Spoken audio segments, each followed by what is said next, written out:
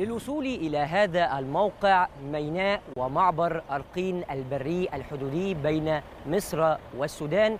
عليك أن تتبع عدد من الخطوات التي وضعتها جهود الدولة المصرية المتمثلة في وزارة الخارجية المصرية التي وضعت خطوطا ساخنة لنقل وإجلاء الرعاية من المواطنين المصريين والسودانيين وغيرهم من الجنسيات الأخرى في التنسيق والمتابعة مع السفارة المصرية بالخرطوم وأيضا القنصليات سواء في بور سودان أو في مدينة وادي حلفة التي تبعد 60 كيلومتر من هذا الموقع الذي نتواجد فيه الآن. على كل من يرغب في مغادرة مدن وأراضي السودان اتباع هذه الجهود التي تقوم بها الدولة المصرية والمتمثلة في عدد من الأجهزة والوزارات لنقل الرعاية سواء من المصريين أو السودانيين أو غيرهم من الجنسيات. في إطار جهود الدولة المصرية لتنفيذ خطة إجلاء المواطنين المصريين في السودان مع استمرار الدبلوماسية المصرية في الخرطوم وقنصليتي الخرطوم وبورسودان والمكتب القنصلي في وادي حلفة التنسيق مع المواطنين. مع وصول المواطنين من الحدود السودانية إلى معبر أرقين البري الحدودي بين مصر والسودان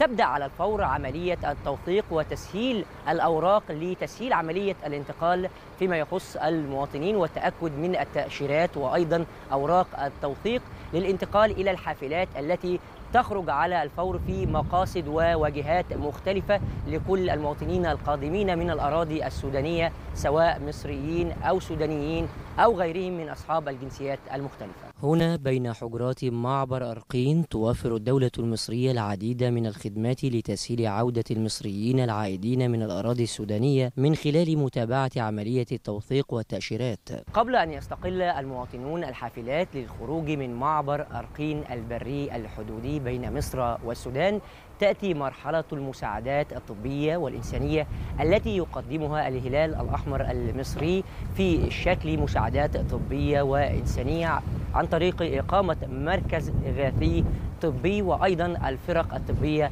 المتحركة. من خلال تجهيز فريق بمجموعة من الخدمات الإغاثية يأتي دور الهلال الأحمر المصري في تقديم المساعدات الإنسانية وحقائب النظافة الشخصية وخدمات النقل بالإضافة إلى مجموعات الدعم النفسي وإعادة الروابط الأسرية بتوفير وسائل الاتصال بينهم. بالانتقال إلى هذه الحافلات التي تقف من خلفي الآن ومن ثم التحرك في خطوط سير محددة بالاتجاهات المختلفة إلى الأماكن والمحافظات التي يقصدها المواطنون القادمون من مدن السودان بالتنسيق مع السلطات السودانية والسلطات المصرية سواء من المصريين والسودانيين أو من غيرهم من الجنسيات الأخرى. مع صعود المواطنين إلى الحافلات يتم نقلهم من المعبر لأقرب مكان وصول أو محطات قطار أو محطات أتوبيس وأماكن تمركز ومواقف السيارات إلى جميع وجهات المحافظات.